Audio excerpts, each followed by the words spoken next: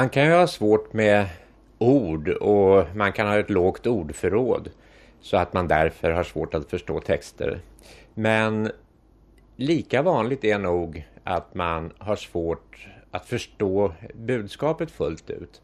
Man, författare skriver ofta mellan raderna så att säga.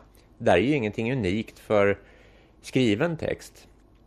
Om en, ett par hemma den ena parten ser att det saknas mjölk i kylskåpet så säger hon eller han det.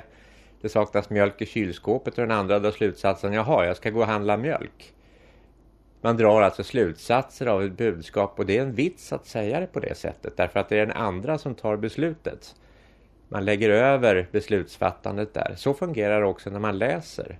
Att det finns saker som läsaren drar slutsatser av. Men när man läser så måste man veta att allting står inte i texten. Jag måste själv vara medskapande i den. Det där använder den skönlitterära författaren i stor utsträckning. Och det är bra. Det är så det blir intressant med litteratur.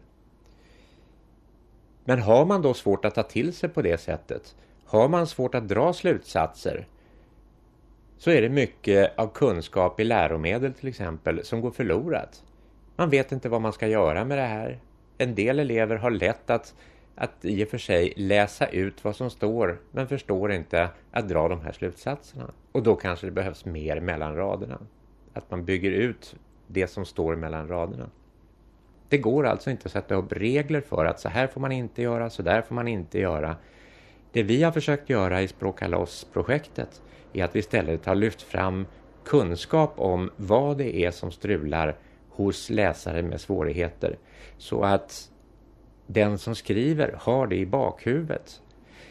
Så att när man försöker hitta rätt sätt att presentera ett budskap så har man med det i fonden av den kunskap så att man hittar en kommunikation med den man vill nå.